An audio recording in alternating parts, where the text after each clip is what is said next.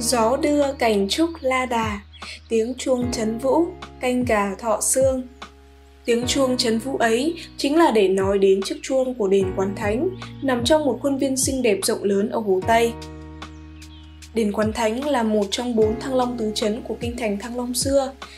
Đây là một trong những ngôi đền cổ nhất ở Hà Nội thờ Thánh Trấn Vũ, vị thần bảo vệ miền Bắc.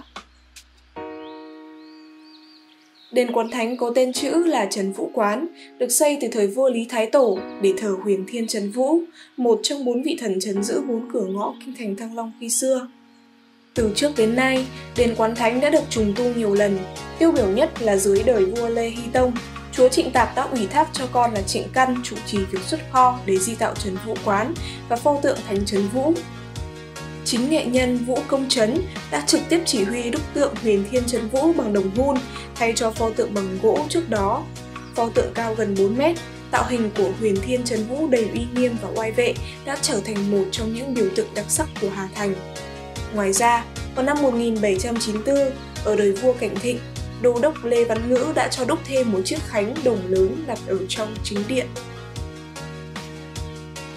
Huyền Thiên Trấn Vũ vốn là một vị thần và đầu thai thành hoàng tử nước Tĩnh Lạc, nhưng sau này ông quyết định từ bỏ toàn bộ của cải, quyền lực để đi tu và đã đắc đạo. Khi đi qua làng Long Đỗ vùng sông Nhị Hà, ông đã dừng chân và tu đạo tại một ngôi đền ngay cạnh hồ Tây. Với đạo pháp cao siêu, ông đã tiêu diệt toàn bộ ma quỷ xung quanh vùng để bảo vệ dân làng. Để tỏ lòng biết ơn, dân làng dựng nên đền Huyền Thiên Trấn Vũ ngay tại ngôi đền nơi ông tu đạo. Ngoài ra, còn có tích truyền rằng ông chính là người nhà trời được Ngọc Hoàng sai xuống để tiêu diệt con hồ đi chín đuôi đang phá phách cuộc sống của dân làng Lồng Đỗ. Về kiến trúc, đền quán thánh tuân theo lối kiến trúc truyền thống của Trung Quốc, bao gồm tam quan, sân bái, tiền đế, trung đế, hậu cung. Cổng ngoài của đền có bốn cột trụ là bốn con phượng hoàng đấu lưng và con nghê trên đỉnh các tam quan chính là nơi đặt quả chuông đồng được đúc vào năm 1677. Qua tam quan, bạn sẽ đến với nhà bia với nhiều văn bia tạc khắc về thời điểm trùng tu đền. Sau nhà bia, nằm sát đường quán thánh là đền thờ liệt sĩ xây theo dạng cung đình, bên trong là bàn thờ và ảnh các chiến sĩ đã hy sinh. It's very peaceful, very uh, it makes me uh, very comfortable in my heart when I uh, visit the temple, and I love the, the beautiful trees and the, the greenery that surrounds it. Tiến vào sân bái là nơi bày biện sắp xếp lễ vật.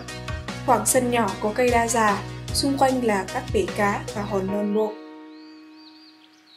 Trước bái đường có hai lưu hương lớn và bàn chuẩn bị đồ tế lễ.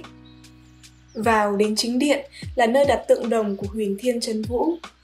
Trên các cột, cửa, xà còn có những bài thơ, câu đối được chạm khắc bằng tiếng Hán. là một hướng dẫn viên du lịch uh, trên 12 năm đi du lịch của Đông Nam Á và Việt Nam thì sau 2 năm dịch thì anh cảm thấy uh, trước đây ấy, thì rất ít các bạn trẻ hay uh, những khách du lịch tới với đền Quan Thánh và đây trong là một là tứ đại danh chấn của Hà Nội xưa là bảo vệ kinh thành xưa. Và ngày nay rất là vui khi chúng ta có thêm nhiều cái dịch vụ mới ví dụ như thầy đồ à, đang có mặt ở trước chúng ta đây cũng như là nhiều bạn trẻ tới thăm một ngôi đền là anh thấy rất là linh thiêng. Anh đến uh, văn miếu và quán thánh nhưng mà từ bản thân anh anh thấy rằng là cái nơi này nó có rất nhiều các cái trường khí rất là tốt. Và đây là một cái khu rất là địa linh và anh rất là mong muốn các bạn trẻ và nhiều người khách sẽ tới thăm đền quán thánh nhiều hơn nữa để à, biết về một đền mà rất là nổi tiếng của Hà Nội và rất là linh thiêng này.